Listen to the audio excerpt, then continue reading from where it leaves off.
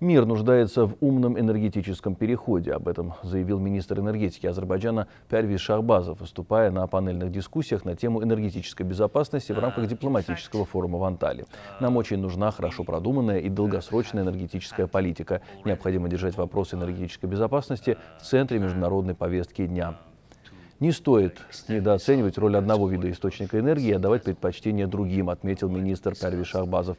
Он также затронул тему Южного газового коридора, отметив, что проект открывает большие возможности для транспортировки газа в Европу. Конечно, к этому коридору могут присоединиться и другие поставщики газа. Соответственно, строительство коридора велось таким образом, чтобы в будущем реализовать такие возможности.